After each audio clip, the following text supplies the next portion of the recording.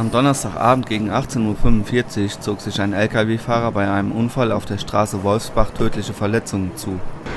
Wir sind hier bei einem Verkehrsunfall. Hier ist ein LKW auf einer Behelfsstraße ähm, aus ungeklärter Ursache von der Fahrbahn abgekommen, ist ca. 100 Meter eine Böschung hinabgerollt und vor einer Autobahn, einem Autobahnpfeiler der A45 zum Stehen gekommen. Wir brauchen jetzt noch ca. eine gute halbe Stunde, um die Zugmaschine in den Bereich zu kriegen, wo wir letztendlich den ähm, leider Verstorbenen aus dem LKW dann befreien. Wie lange das dauert, äh, kann man so im Moment noch nicht sagen. Der LKW ist also massiv deformiert. Wir werden uns jetzt gleich oben ähm, auf der Straße mit zwei LKW-Bergern in Position bringen und werden dann äh, eine Menge Seile aneinander machen müssen, ne, um beide Fahrzeuge nacheinander bis oben auf die Höhe wieder hochzuziehen.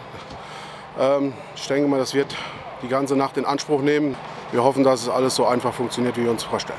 Neben der Feuerwehr und dem Bergungsdienst war auch das THW vor Ort, um den extremen Steilhang auszuleuchten und weitere Hilfestellung bei der Bergung zu geben. Trotz sofort eingeleiteter Rettungs- und Bergungsmaßnahmen verstarb der Fahrer noch an der Unfallstelle. Die Straße war aufgrund der aufwendigen Bergungsarbeiten für rund neun Stunden gesperrt. Die Höhe des entstandenen Sachschadens kann nach derzeitigem Ermittlungsstand noch nicht beurteilt werden. Das Verkehrskommissariat und die Staatsanwaltschaft Siegen haben noch am Abend die weiteren Ermittlungen aufgenommen